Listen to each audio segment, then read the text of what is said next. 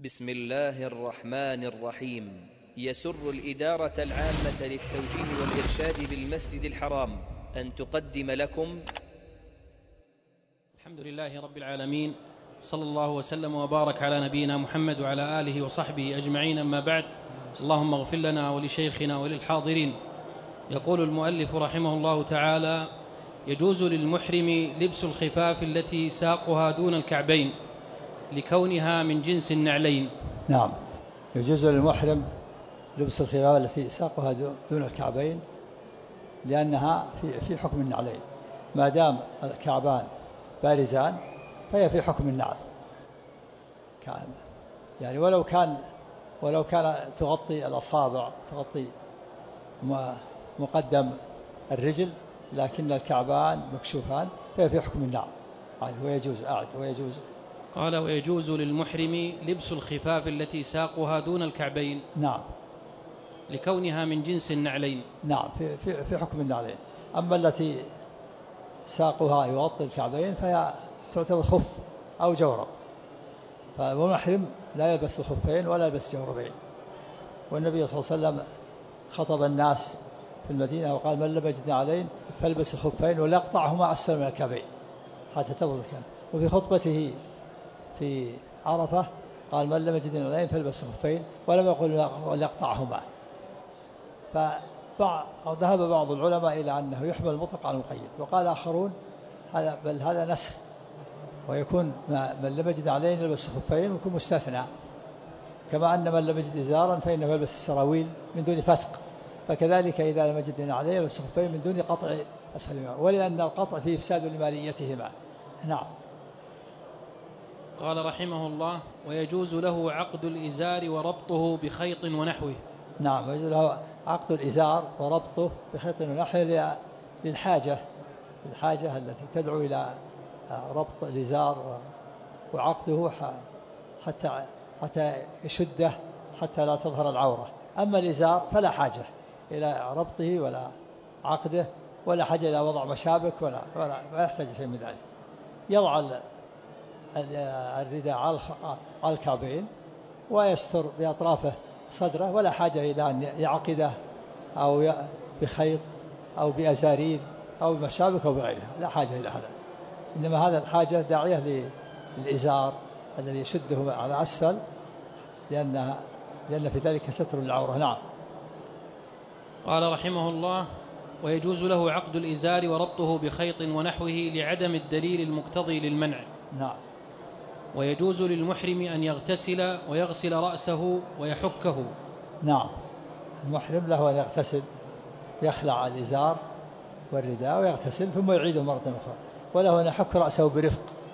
نعم. ويغسل رأسه ويحكه إذا احتاج إلى ذلك برفق وسهولة. نعم. حتى لا يسقط شيء من الشعر. وإذا سقط شعر ميت فلا يضره. نعم. نعم. فإن, فإن سقط من رأسه شيء بسبب ذلك فلا حرج عليه. نعم لأنه شعر ميت فلا يضر نعم. ويحرم على المرأة المحرمة أن, تل أن تلبس مخيطا لوجهها. نعم هذا تسمى محظورة الإحرام محظورات الإحرام عند أهل محظورة يعني ممنوعات. محظورات الإحرام بالنسبة للرجل كما سبق بالأمس تسعة أشياء لبس المخيط وتغطية الرأس وأخذ شيء من الشعر وأخذ شيء من الأظافر والطيب. وقتل الصيد وعقد النكاح وجماع والمباشرة. تسعة أشياء. و وأما المرأة فإنه أيضا يحرم عليها شيئان. تغطية الوجه بالمخيط وتغطية اليدين بالمخيط. تغطية الوجه بالمخيط وهو البرقع والنقاب. البرقع مخيط على قدر الوجه وإذا فتح له فتحتان صار نقاب. وكذلك قفازين وهو شراب اليدين لكن لا لكن لها أن تغطي يديها بثوبها. لا بالمخيط وكلها أن تغطي وجهها بغير بغير المخيط. المرأة إذا مر بها الرجال الأجانب تسدل خمارها على وجهها وليست ممنوعة من ستر وجهها إنما ممنوعة من ستر وجهها بالمخيط وهو مخيط على قدر الوجه يسمى البرقع وإذا فتح له فتحة ثانية يسمى النقاب لكن لو نزلت الخمار كذا على وجهها فلا بأس لأنه ليس بمخيط. نعم. قال رحمه الله ويحرم على المرأة المحرمة أن تلبس مخيطا لوجهها كالبرقع, كالبرقع والنقاب أو ليديها كالقفازين. نعم. القفازين شراب اليدين. لكن لو سترتهما بالثوب بثوبها فلا بأس. كما أنها تستر وجهها بخبارها فلا بأس. نعم. لقول النبي صلى الله عليه وسلم لا تنتقب المرأة ولا تلبس القفازين. رواه نعم. البخاري. نعم. والقفازان هما ما يخاط أو ينسج من الصوف أو القطن أو غيرهما على قدر اليدين. نعم. شراب شراب اليدين. من من قطن أو صوف أو غيرها. نعم. ويباح لها من المخيط ما سوى ذلك كالقميص والسراويل والخفين والجوارب ونحو ذلك. نعم. المرأة ليست كالرجل. الرجل ما يلبس المخيط. ولا يلبس الخفين في الرجلين والجوربين. المرأة تلبس المخيط ما شاءت من الثياب. تلبس من الثياب ولا لا تمنع شيء من ذلك إلا ما فيه تشبه بالرجال أو آه، لفت ما فيه جمال يلفت أنظار الرجال إليها. ولا يلزمها أن تحرم بالأسود كما تعتقد بعض العامة. أسود أو غير أسود لكن لا يكون فيه تشبه بالرجال ولا فيه دعوة للرجال ولفت نظر للرجال لجماله. وكذا هل تلبس الخفين في رجليها والجوربين؟ أما الرجل لا يلبس الخفين. رجلاه مكشوفتان بالنعلين أو ما في حكمهما. والمرأة لا تستر الرجلين لكن لا تستر اليدين بالمخيط ولا تستر الوجه بالمخيط. نعم وإنما تستر الوجه بالخمار وتستر اليدين بالثياب بثوبها. نعم. قال ويباح لها من المخيط ما سوى ذلك كالقميص والسراويل والخفين والجوارب ونحو ذلك. نعم. وكذلك يباح لها سدل خمارها على وجهها. نعم. سدل على الخمار هكذا. يستدل ينزل على وجهها ويغطي وجهها وصدرها. نعم. الخمار ما تخمر به وجهها الغطاء. نعم. قال وكذلك يسمى الشيلة يسمى نعم. قال وكذلك يباح لها سدل خمارها على على وجهها إذا احتاجت إلى ذلك بلا عصابة. نعم. إذا إلى ذلك متى تحتاج إلى ذلك؟ إذا مر بها الرجال الأجانب. أما إذا كانت بين النساء فلا تحتاج. ولا احتاج عصابة. بعض الفقهاء يقول تجعل عصابة. تجعل عصابة حتى ترفع الخمار فلا يمس بشرة الوجه. اجتهاد من بعض العلماء وتجعل عصابة كذا ثم تنزل الخمار ويكون الخمار بعيد عن لبس عن لمس بشرة الوجه. هذا قال في الفقهاء اجتهاد منهم وليس عليه دليل. نعم. قال قرر العلامة ابن القيم رحمه الله أن أن وجه المرأة ليس كالمحرم. بعضهم يقول أن وجه المرأة كرأس المحرم كما أن المحرم لا يغطي رأسه فالمرأة لا تغطي وجهها قال لا وجه المرأة كبدن المحرم. بدن المحرم له له نغطيه بما شاء. نعم. وإن مس الخمار وجهها فلا شيء عليها. نعم. لحديث عائشة رضي الله عنها قالت كان الركبان يمر يمرون بنا ونحن مع رسول الله صلى الله عليه وسلم محرمات فإذا حاذونا سدلت إحدانا جلبابها من رأسها على وجهها. فإذا جاوزونا كشفناه. أخرجه أبو داود وابن ماجه. نعم. حديث كان فيه مقال. لكن له شواهد نعم. هذا تعليق تعليق الحديث. نعم شيخ. قال رواه أبو داود في كتاب المناسك. باب المحرمة تغطي وجهها وابن ماجه في كتاب المناسك. باب المحرمة تسدل الثوب على وجهها والإمام أحمد في المسند. وابن خزيمة وقد أشار ابن خزيمة إلى ضعفه. نعم. وقال الحافظ وفي إسناده يزيد بن أبي زياد وهو ضعيف. نعم. انظر آه، الدراية وموسوعة الحافظ. نعم. وهو ضعيف وهو ضعفه الألباني. كما في ضعيف سنن أبي داود. وقال شعيب إسناده ضعيف. نعم الحديث في ضعف لكن هذا له شواهد. نعم. وأخرجت وأخرجت وأخرج الدار قطني من حديث أم سلمة رضي الله عنها مثله. أخرج إيش وأخرج. وأخرج الدار قطني من حديث أم سلمة مثله. نعم. كذلك لا بأس أن تغطي يديها بثوبها أو غيره. نعم. كذلك لا بأس أن تغطي يديها بثوبها أو غيرها. لا بالقفازين نعم. ويجب عليها تغطية وجهها وكفيها إذا كانت بحضرة الرجال الأجانب. نعم. لأن يديها ووجهها عورة. والمرأة كلها عورة. أمام الرجال الأجانب إلا وجهها في الصلاة إذا كانت تصلي بين النساء أو في بيتها ليس عندها أجانب تكشف وجهها ويصلي فإن صلت في مكان فيه الرجال فإن تستر وجهها. نعم. لأن المرأة كل كل المرأة كلها عورة. نعم. فإذا إذا كانت في الحج وعندها رجال أجانب يجب عليها أن تستر وجهها وتستر يديها. لكن تستر وجهها بغير المخيط بغير البرقع والنقاب وتستر يديها بغير القفازين نعم قال لأنها عورة لقول, نعم. لقول الله سبحانه وتعالى ولا يبدين زينتهن إلا لبعولتهن ولا ريب أن الوجه والكفين من أعظم الزينة والوجه في ذلك أشد وأعظم نعم. قال الله ت... وقال تعالى وإذا سألتموهن متاعا فاسألوهن من وراء حجاب ذلكم أطهر لقلوبكم وقلوبهن. نعم فالحجاب أطهر لقلوب الرجال وقلوب النساء. والحجاب ما يحجب المرأة عن الرجل. قد يكون حجاب جدار قد يكون باب وقد يكون غطاء على الوجه قد يكون ستارة بين الرجل أو بين الرجال والنساء. نعم. وأما ما اعتاده كثير من النساء من جعل العصابة تحت الخمار تحت الخمار لترفعه عن وجهها فلا أصل له في الشرع فيما نعلم.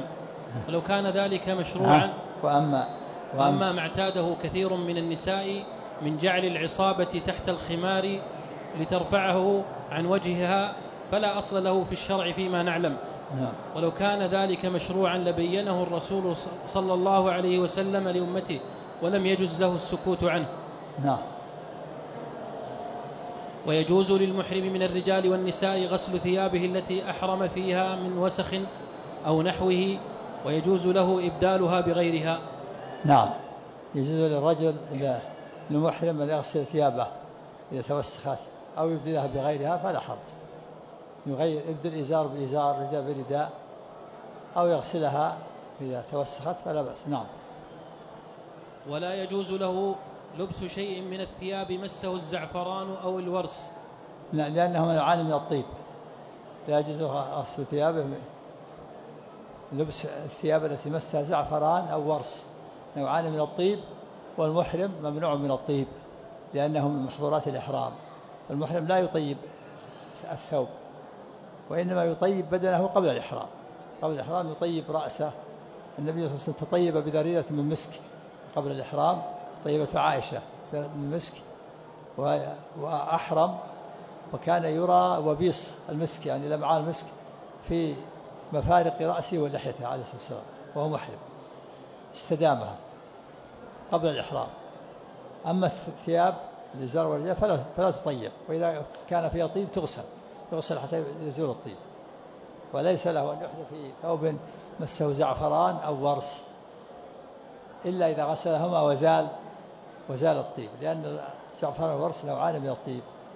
كما أن المحرم لا يشرب القهوة اللي فيها زعفران لأنه طيب. فقهوة اللي فيها هيل لا بأس. وما فيها زعفران لا يشربها لأن الزعفران نوع من الطيب وهو نوع من الطيب في سواء في أكله أو شربه أو لباسه. لا يأكل ولا يشرب ما فيه طيب ولا يغسل ثوبه بما فيه طيب. نعم. لأن النبي صلى الله عليه وسلم نهى عن ذلك, عن ذلك في حديث ابن عمر رضي الله عنهما. نعم. ويجب على المحرم أن يترك الرفث والفسوق والجدال. لقول الله تعالى في حديث ابن عمر ولا يلبس ثوبا مسه زعفران وورس سئل النبي ما يلبس المحرم. قال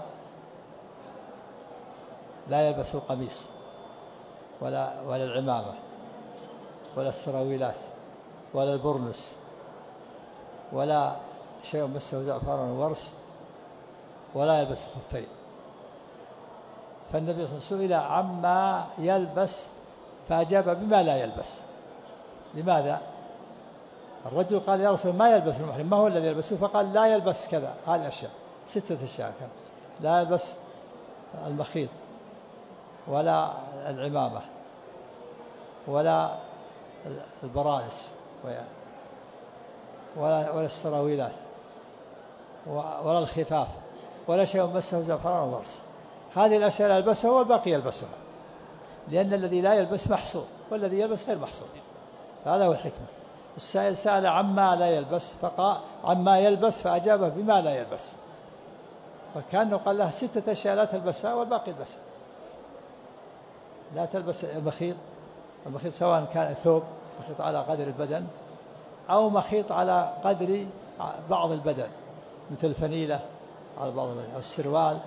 السروال نص عليه النبي الطاقية لا يلبس القميص ولا السراويلات ولا العمائم العمامة على رأسه ولا البرامس. برانس ثياب مغربية متصلة بها رؤوسها. ولا الخفاف ولا الخفين ولا شيء مسه زعفران أو ورس. هذه لا يلبسها والباقي يلبسها. نعم. قال ويجب على المحرم أن يترك الرفث والفسوق والجدال. لقول الله تعالى الحج أشهر معلومات فمن فمن فمن فرض فيهن الحج فلا رفث ولا فسوق ولا جدال في الحج. إيش؟ ويجب على المحرم أن يترك الرفث والفسوق والجدال. نعم، يجب على المحرم أن يترك الرفث والفسوق والجدال. الرفث يشمل الجماع ويشمل الكلام الكلام الفاحش الفحش في القول فلا يتكلم بالفحش ولا وليس له أن يتصل ممنوع من زوجته. الاتصال الجنسي والفسوق المعاصي كلها. والجدال الجدال بالباطل. أما الجدال لإظهار الحق ورد الباطل فهذا مطلوب به مطلوب مأمور به. قال فلا وجادلهم بالتي هي أحسن. قال الله تعالى الحج وأشهر المعلومات فمن فرض فيهن الحج فلا رفث ولا فسوق ولا جدال في الحج. الرفث الجماع وكل قول فاحش والفسوق المعاصي كلها والجدال الجدال بالباطل. نعم. وصح عن النبي صلى الله عليه وسلم أنه قال من حج فلم يرفث ولم يفسق رجع كيوم ولدته أمه.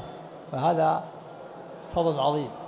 فضل عظيم أن الحاج يرجع من ذنوبه كيوم ولدته أمه بشرط أن يترك الرفث والفسوق.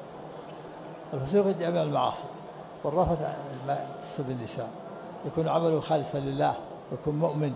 إذا كان عمله خالصا لله مؤمن ترك الرفث والفسوق وأدى الحج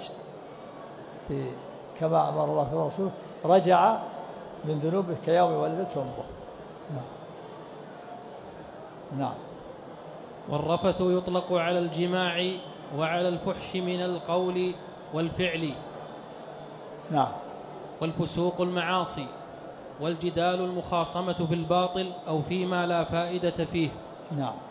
وأما فأما الجدال بالتي هي أحسن لإظهار الحق ورد الباطل فلا بأس به بل هو مأمور به لقول الله تعالى ادع إلى سبيل ربك بالحكمة والموعظة الحسنة وجادلهم بالتي هي أحسن. نعم. ويحرم على المحرم الذكر تغطية رأسه بملاصق. كالطاقية والغترة والعمامة أو, أو نحو ذلك. نعم.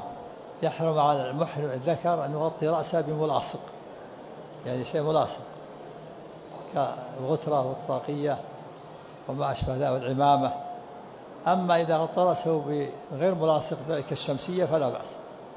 الشمسية والخيمة ويستظل تحت الشجرة تحت سقف البيت هذا لا بأس به. المحرم يستظل تحت سقف تحت سقف البيت أو يستظل تحت شجرة أو يستظل بسقف السيارة أو يستظل يستظل بالشمسية التي يحملها فلا بأس.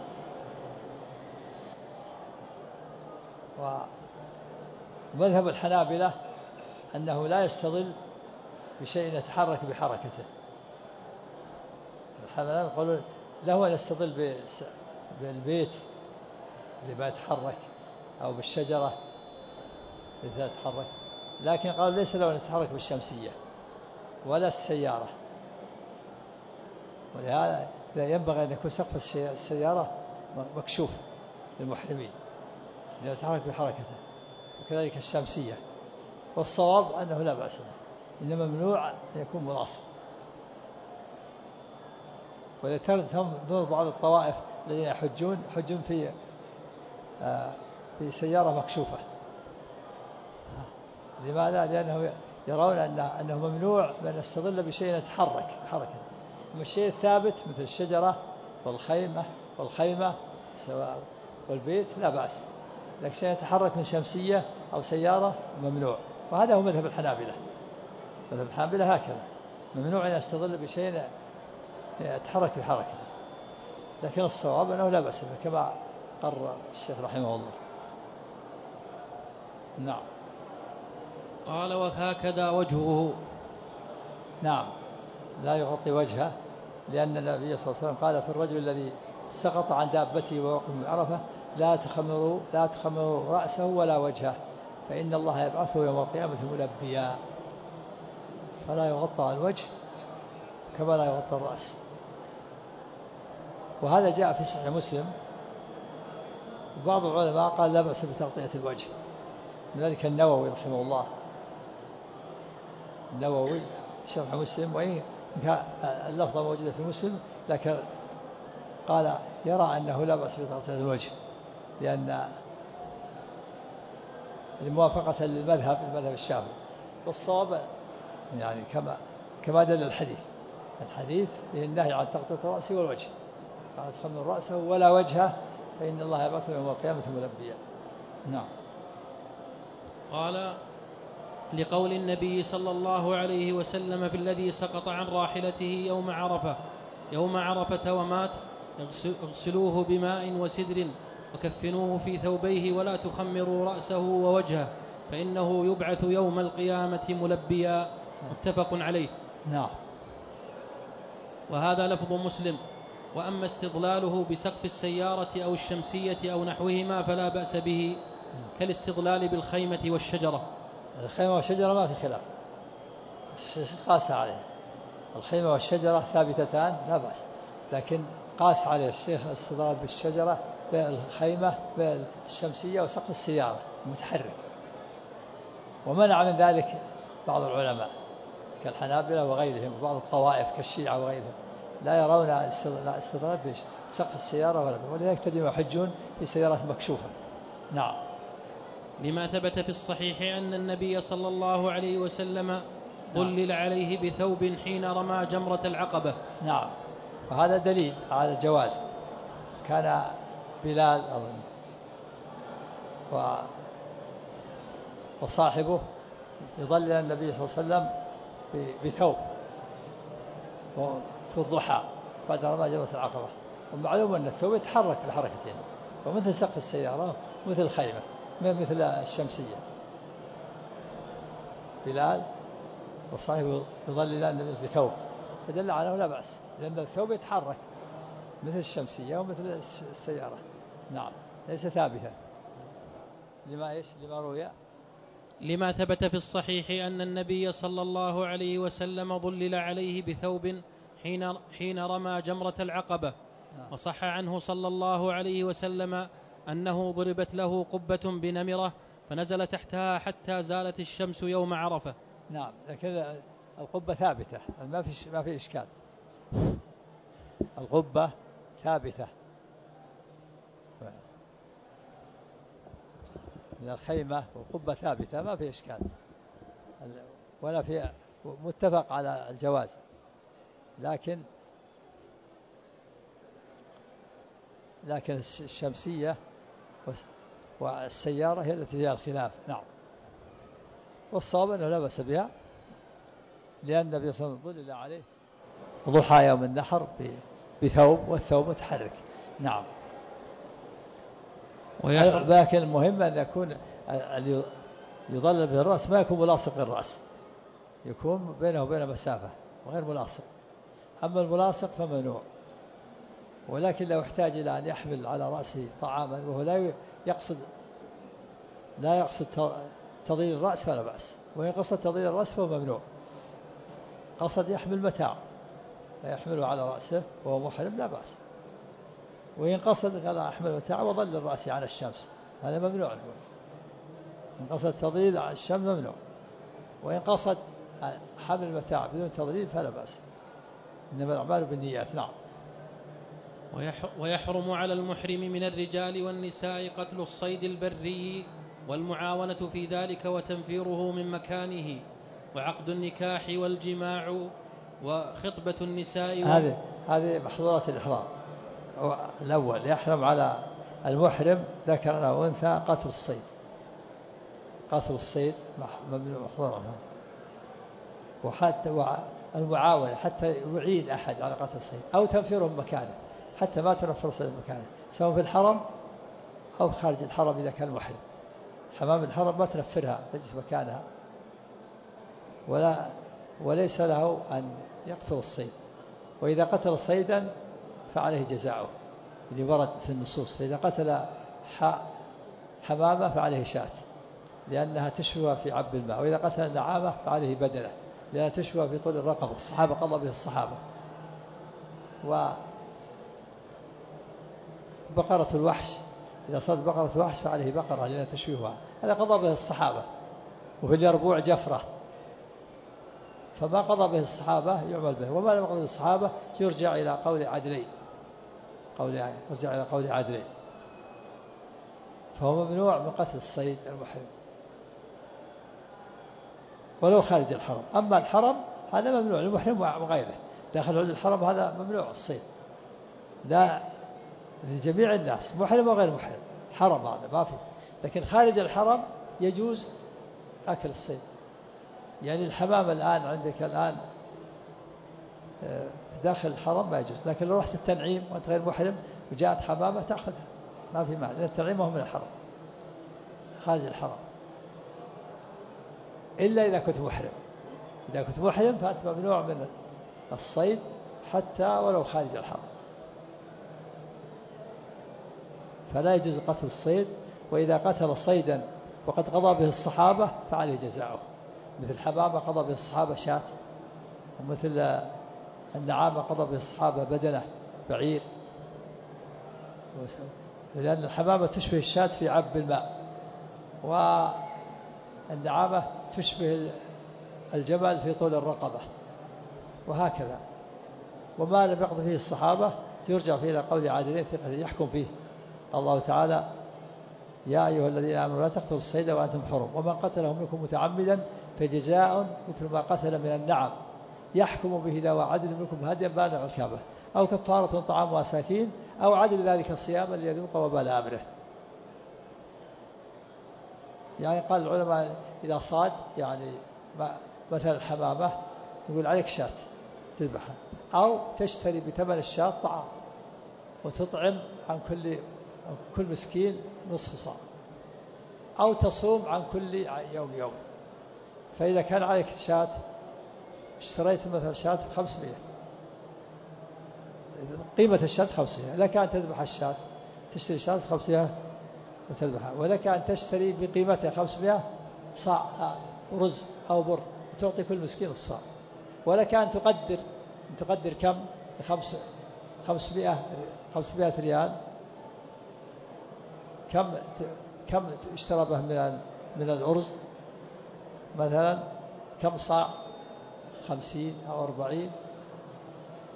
في أربعين تكون كل مسكين له نصف صاع يعني تصوم ثمانين يوم. تصوم بدها تصوم ثمانين يوم. عن كل يوم عن نصف الصاع عن كل أو تذبح الشاة أو تشتري بالأرز وتصدق به ما أنت بالخيار هذا مع قوله تعالى لا, لا تقتلوا الصيد وأنتم حرم ومن قتل منكم متعمدا فجزاء مثل ما قتل من النعم يحكم به ذوى عدل. أو كفارة طعام مساكين أو عدل ذلك صياما. ليذوق وبال نعم. ويحرم على المحرم من الرجال والنساء قتل الصيد البري والمعاونة في ذلك. الصيد البري أما الصيد البحري فظاهره فلا بأس به. لقول تعالى أحل لكم صيد البحر وطعامه معكم ولس وطعامه متاعا لكم وللسيارة وحرم عليكم صيد البر ما دمتم حرما. نعم. والمعاونة في ذلك وتنفيره من مكانه. كذلك المعاونة. المحرم ليس له أن يعين الحلال في قتل الصيد لا يعطيه السلاح ولا يشير عليه يقول شوف انظر للصيد ما يعينه. لا. وإذا قتل إذا صاد شخص صيدا وأعطاه المحرم فهل يأكل منها ولا يأكل؟ في تفصيل. إن صاده لأجله فلا يأكل منه. أو ساعده أو أعانه فلا. لأن أبا قتادة رضي الله عنه صاد حمارا وحشيا في في عمرة الحديبية أحرم النبي وأحرم الصحابة وأبو قتادة ما أحرم. فرأى حمار وحش حمار وحش صيد قبل أن يصل إلى مكة. حمار وحش ما وصل الحرم فركب فرسه وسقط السلاح فقال لا السلاح؟ قالوا ما ننولك نحن محرمون ما نعينك. فنزل وأخذه. وفي ثم صاده وجاء به. فقال لهم كلوا قالوا ما ناكل حتى نسأل النبي. فلما وصلوا النبي سألوه قال هل نأكل قال هل منكم أحد أعانه أو ساعده أو أعطى أو أعانه في قتله أو صيد؟ قالوا لا. قال كلوا. فالمحرم يأكل من الصيد الذي صاده الحلال بهذا الشرب شرط ما صاد ولا شارك في صيده ولا أعانه. وجاء في البخاري رحمه بوب قال إن لأن في هذه القصة أن الصحابة رأوا حمار وحش فجعلوا يضحكون. يعني أنه هذا يستطيع أن يصيد ولكن ممنوع منه. ففطن أبو قتادة لضحكه فرآه فقال بوب البخاري قال باب باب باب إذا ضحك الحلال ففطن المحرم. هل يؤثر أو لا يؤثر؟ ما يؤثر. ما دام ما ما أعانوه ولا ساعدوه فلا يؤثر. نعم. وعقد النكاح والجماع. عقد النكاح. كذلك المحرم ليس له أن يعقد الإحرام له ولا لغيره يعقد الزواج له أو لغيره. وإذا عقد فالعقد فاسد يعيده بعد أن يتحلل بإحرامه. لكن ليس فيه فدية. العقد عقد الإحرام ليس فيه فدية. نعم. وعقد النكاح وإيش؟ وعقد النكاح والجماع وخطبة وخطبة الجماع جماع ليس للمحرم أن يجامع وخطبة النكاح يخطب وهو محرم أو يشهد وهو محرم في عقد النكاح ممنوع. لكن ليس فيه. إذا إذا عقد النكاح فالعقد فاسد وليس عليه جزاء. والخطبة كذلك والشهادة ليس عليه جزاء. لكن إذا جامع هذا متعمد فسد. فسد قبل التحلل الأول هذا يفسد الحج. أشدها الجماع الجماع أغلظ محظورة الحرام وأشدها وأفحشها. إذا جامع المحرم زوجته قبل التحلل الأول. التحلل الأول يكون يكون يوم العيد برمي جمرة العقبة وحلق الرأس أو الطواف السنة. فإذا جامع قبل ذلك التحلل يلزم أربعة أمور. الأمر الأول فسد الحج. والأمر الثاني يجب عليه أن يكمل الحج الفاسد. والأمر الثالث يلزمه بعير يذبح بعير. والأمر الرابع يلزمه قضاءه من العام القادم. أربعة أمور. ولو كان الحج نفلا يصير في ذمة واجب الآن. فيكون الجماع أغلظ محظورة وأفحشها.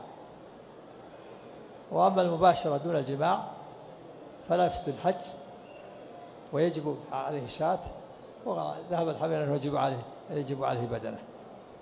وما عدا ما هناك شيء يفسد الحج مثل إلا الجماع. جماع قبل التحلل الأول. نعم. هذه محظورات الإحرام واللي ذكرها تغطية تغطية الرأس بالنسبة للذكر تسعة. تسعة أشياء. تغطية الرأس. لبس المخيط قص الشعر قص الأظافر الطيب قتل الصيد عقد النكاح الجماع المباشرة. والمرأة تزيد أيضا يحرم عليها آه، لبس آه، تغطية الوجه بالمخيط تغطية اليدين بالمخيط القفازين وليس ولا والمرأة ما تغطي رأسها وتلبس المخيط نعم. لكن هي ممنوعة مثل الرجل من من أخذ الشعر وقص الأظافر والطيب. ممنوعة. قتل ممنوع من قتل الصيد وبقية محظورات الحرام نعم. وخطبة النساء ومباشرتهن بشهوة. نعم. خطبة النساء ممنوعة. ما يخطب المحرم ولا يشهد في عقد النكاح ولا ولكن لو عقد أو شهد أو خطب لا لا يفسد لا يفسد وليس عليه فدية ولا يفسد النكاح لكن الجماع والمباشرة في فدية نعم لحديث لحديث عثمان رضي الله عنه أن النبي صلى الله عليه وسلم قال لا ينكح المحرم ولا ينكح ولا لا. يخطب لا ينكح المحرم ولا ينكح ولا. يخطب لا. ينكح بنفسه لا يتزوج ولا ينكح ولا يزوج غيره لا يزوج زوج موليته بنته أو أخته لا ينكح هو لا يتزوج. ولا ينكح لا يزوج غيره.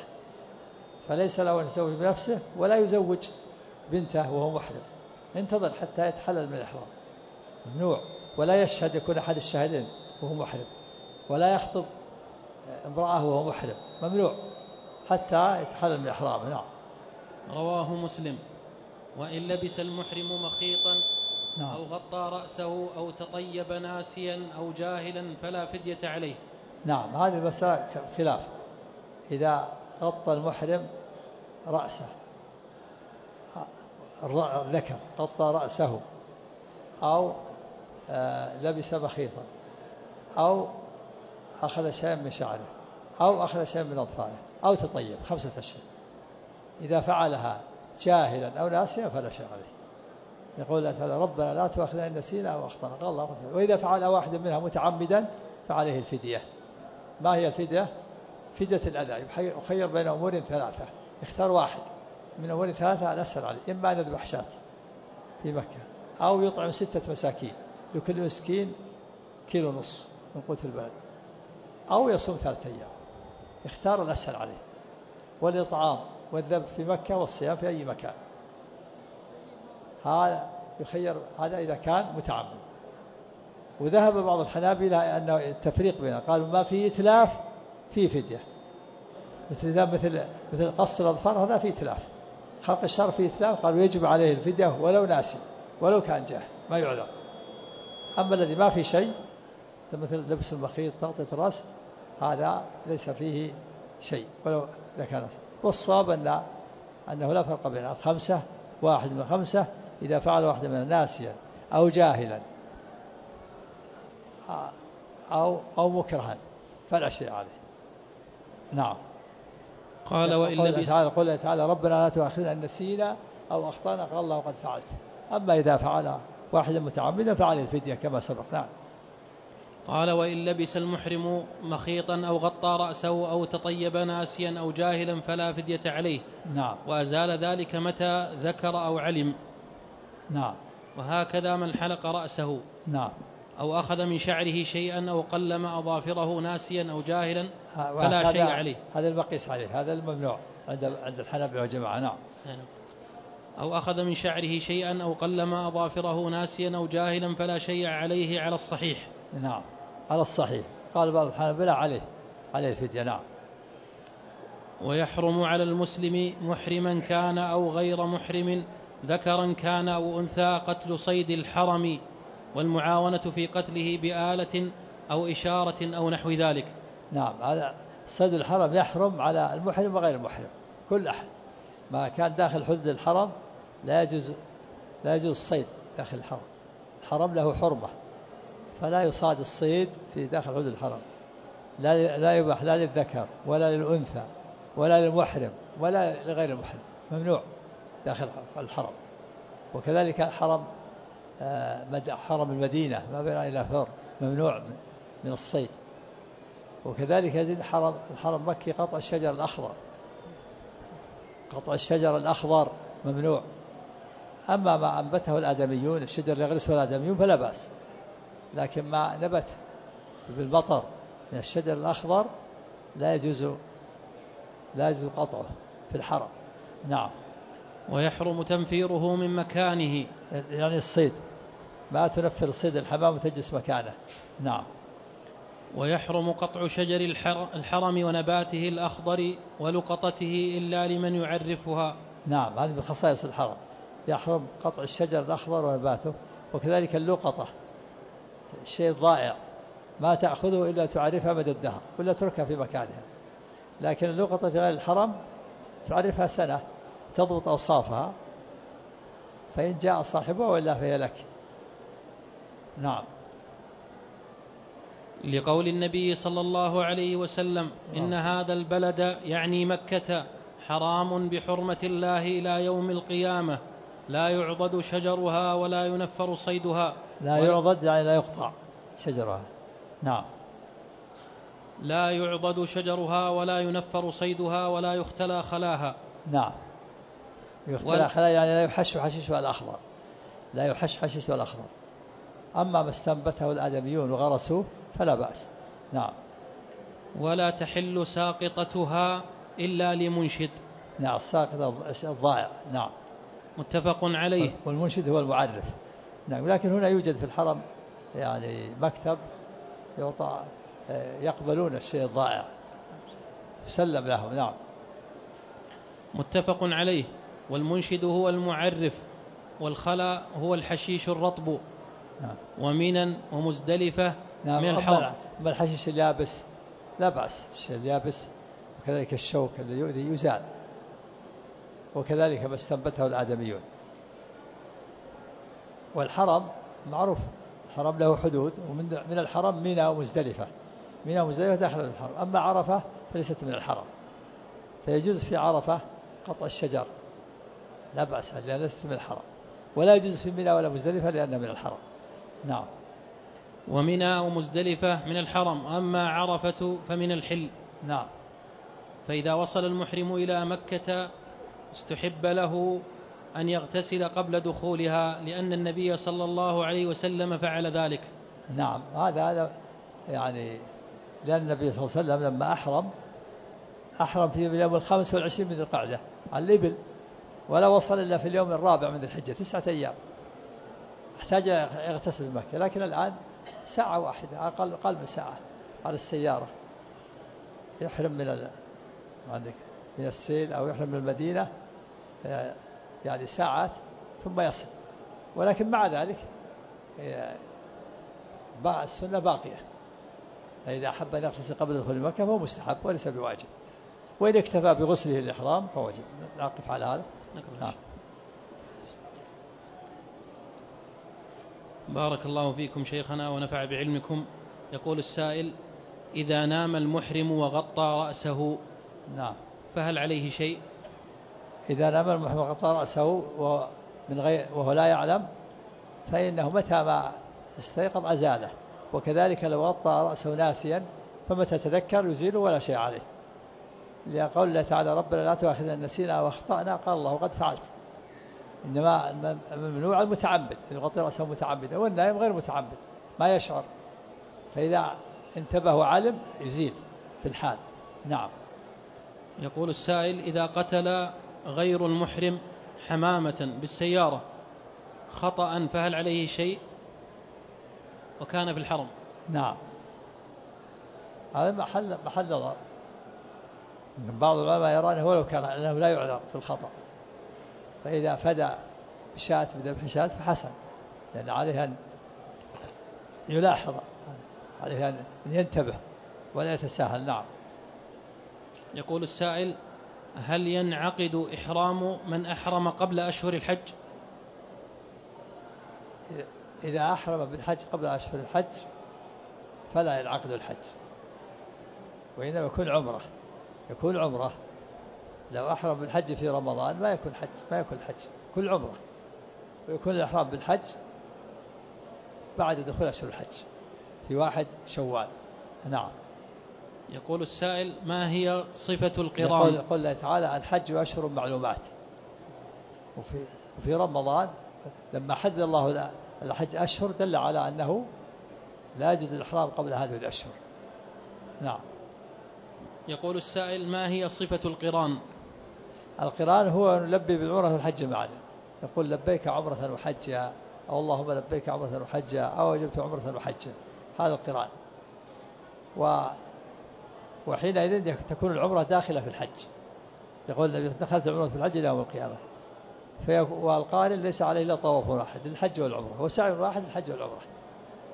بخلاف المتمتع فإن العمرة متمتع منفصلة. عن الحج. يطوف للعمرة ويطوف العمرة ويسعى العمرة ويتحلل. ثم يلبس يلبس ثيابه وإذا جاء اليوم الثامن يحرم بالحج ويطوف ويسعى للحج يوم العيد. فالحج له طواف وسعي والعمرة طواف وسعي. أما القارن طواف واحد وسعي واحد. متداخلان يقول دخلت عمرة الحج إلى يوم القيامة. نعم. هذا هو الصواب. وذهب الأحناف إلى أن القارن له طوافين وسعيين كالمتمتع. ذهب إلى هذا أبو حنيفة وأصحابه والصواب عليه الجمهور. لما جاء في حديث عائشة أن أن الذين أحرموا بالحج والذين لم يطوفوا إلا طوفا واحدا نعم. يقول السائل هل يجوز للمحرم الاغتسال بصابون ليس فيه رائحة؟ نعم لا بأس. إذا كان الصابون ليس فيه طيب فلا فلا بأس. يقول السائل ما حكم من وضع قفلا أو مساكة لشد ردائه؟ الرجال لا ما ينبغي. الرداء ما, ما في حاجة. يجعل يجعل أزارير أو مشابك لا. إنما هذا الإزار شد الإزار ولا شد الرداء؟ الرداء ممنوع. الرداء لا حاجة. لكن الإزار بحاجة إلى أن شده لأجل العورة. وكذلك أيضا لو شده بمحزان هميان يضع فيه نقوده وحاجاته فلا بأس. نعم. نعم من نعم الأولى الأولى أن لا يضع. لأن قد في بعض العلماء يوجب عليه شيء لأن لأنه يعتبر هذا من جنس من جنس البخيل. فلا حاجة إلى أن يضع سببك على الرداء. نعم. يقول السائل هل الصلاة في أي مسجد بجوار الحرم مثلها كالصلاة في المسجد الحرام؟ قال بهذا بعض العلماء. قال أن الصلاة في أي بقعة داخل حدود الحرم تضاعف بمئة ألف صلاة. واختار هذا جمع من أهل العلم قال ابن القيم اختار سماحة شيخنا عبد العزيز بن باز رحمه الله وكان يصلي في العزيزية ويرى أن الصلاة تضاعف. وذهب بعض العلماء إلى أن إلى أن التضعيف خاص بالمسجد الحرام الذي حول الكعبة. الصواب الأول أن مضاعفة الصلاة عامة إذا صلى في منى أو مزدلفة أو في أي مكان داخل حدود الحرم فالصلاة تضاعف. لكن المسجد الحرام له ميزتان. ميزتان مزيتان لا توجدان في غيره. أحدهما القرب من الكعبة والثاني كثرة الجمع. فاتني ميزتان لا تجدهما في غيره. وكلما كثر الجمع زاد زاد فضل الصلاة زاد الأجر والثواب. كثرة الجمع وقرب الكعبة. لكن لو صليت في مسجد مساجد مكة تضاعف الصلاة بمئة ألف صلاة على الصحيح. عند المحققين. في المسألة فيها خلاف. وبعض العلماء لا يرى التضعيف إلا في المسجد الحرام الذي حول الكعبة. أما المسجد النبوي فالصلاة فيه بمئة ألف صلاة خاص بالمسجد. وأما بقية مساجد المدينة فلا تضاعف في الصلاة قولا واحدا. التضعيف المسجد النبوي خاص بالمسجد والتوسعة مهما وسع الزيادة لا حكم مزيد تابع المسجد. نعم. يقول السائل ما حكم من وضع الكمامات على وجهه وهو محرم؟ لا ينبغي وضع الكمامات عند الحاجة لأن لأنه لأن الوجه ينبغي كشفه كما ورد في الحديث. النبي صلى الله عليه وسلم قال الذي سقط عن دابة لا تخمر وجهه وجه رأسه ولا وجهه. فضع جعل الكمامات هذا تخمير للوجه. لكن لو شيء يسير بقدر الحاجة يعني لا يستر إلا قدر الحاجة أرجو أن لا يكون حرج يعني شيء إذا احتاج أن يضع شيء قليل لكنه لا يتحمل. نعم. يقول السائل ما يكون آه، يعني الكمام يستغرق أكثر الوجه. يكون بقدر الحاجة نعم. يقول السائل بارك الله فيكم. هل للمرأة أن تلبس تلبس تلبس حليها وهي محرمة؟ وما حكم من أحرم عليه قميص؟ آه نعم المرأة لها أن تحرم عليها الحلي بشرط أن تستر عن الرجال الأجانب إذا سترت فلا بأس. أما إذا كانت لا تستطيع ستره فيجب عليها أن تخلعه. لكن لو سترته فلا حرج. وما حكم إيش؟ وما حكم من أحرم عليه قميص؟ يجب يزيل القميص في الحال. إذا أحرم على القميص يخلع القميص ويلبس الإزار والرداء ولا شيء عليه. أو أحرم وعليه سروال يخلع السروال. نعم. فإن تساهل بعد العلم ولم يخلع وجبت عليه الفدية. إذا خلع في الحال ما عليه وإن تأخر مع القدرة معناه لبس مختار فعليه الفدية. نعم. أحسن الله إليكم. ما حكم من جاوز الميقات وهو غير مريد للنسك؟ فهل يلزمه الرجوع إلى الميقات إذا أراد النسك بعد ذلك؟ هذه المسألة فيها خلاف. ذهب الحنابلة وجماعة إلى أن كل داخل إلى مكة يجب عليه أن يحرم بالعمرة. قالوا هذا من خصائص مكة. كل أحد يجب عليه أن يحرم. ما يدخل أحد مكة إلا يحرم. ولو جاء للتجارة أو جاء لطلب العلم أو لغيره أو للزيارة والقول الثاني أنه لا يجب إلا على من أراد الحج أو العمرة وأما من لم يرد فلا بأس. إذا دخل للتجارة أو لزيارة أو لطلب العلم فلا يجب. والدليل على هذا أن النبي صلى الله عليه وسلم لما وقت المواقيت قال هن لهن ولمن أتى عليهن من غير أهلهن ممن أراد الحج والعمرة. فمفهومه أن من لم يرد الحج والعمرة؟ فلا يجب عليه الإحرام ويدل على ذلك أن النبي صلى الله عليه وسلم دخل مكة يوم الفتح غير محرم وعليه عمامة سوداء على رأس المغفر لأنه دخلها للفتح وإزالة الشرك مع ولم يدخلها للإحرام ما قصد الإحرام. فدل على أنه لا بأس بدخول مكة لغير الإحرام ولا يجب عليه. أما إذا أراد الحج والعمرة وتجاوز الميقات يجب عليه يرجع إلى الميقات. ويحرم الميقات. فإن رجع وأحرم فلا شيء. وإن تجاوز الميقات وأحرم فعليه فعليه دم يعني شاة يذبحها.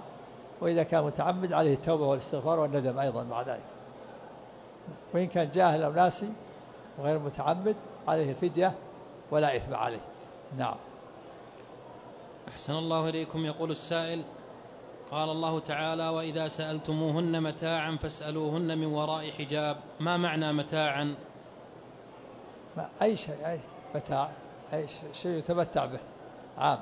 أي شيء يسأل المرأة كل ما يحتاجه الإنسان ثياب أو متاع أو طعام أو شيء. إذا سألها يكون من وراء من وراء حجاب حائل. ما والحجاب ما يحتملها المرأة من وراء جدار أو باب أو ستارة أو غطاء الوجه حجاب نعم. بارك الله فيكم. قال قال سبحانه ذلكم أطهر لقلوبكم وقلوبهن. فالحجاب أطهر لقلوب الرجال وقلوب النساء. نعم. أحسن الله إليكم. يقول السائل قال الله تعالى فمن فرض فيهن الحج فلا رفث ولا فسوق ولا جدال فما حكم من حلق لحيته عصى ربه. حلق اللحية ما يجوز لا في الإحرام ولا في غيره. عليه التوبة والاستغفار والندم وعدم العود لذلك مرة أخرى. نعم. بارك الله فيكم. يقول السائل امرأة حاضت ولم تطف ولم تستطع القضاء لكونها جاءت مع مجموعة فماذا تفعل؟ إيش؟ امرأة أحرمت حاضت ولم تطف ولم تستطع القضاء لكونها جاءت مع مجموعة. يجب عليها. يجب عليها أن تجلس حتى تطهر وتطوف. من الذي ألزمها بالإحرام؟ إذا كانت لا تريد لا تستطيع لا تحرم. ما دام أحرمت لزمها. يلزمها أن تجلس. فإن رجعت فهي بقى على إحرامها. يرجع بها وليها. إن خرجت من مكة وهي لم تطف عليها أن ترجع ويرجع بها وليها حتى تطوف وتسعى وتقصر. لا تزال محرمة. ولو جلست سنة. على إحرامها ممنوع من محظورات الإحرام نعم. فضيلة الشيخ رجل لاعب زوجته في نهار رمضان حتى أنزل فماذا عليه؟ فسد صومه وعليه التوبة والاستغفار والندم توبة إلى الله من إفساد صومه وعليه قضاء ذلك اليوم وليس عليه كفارة.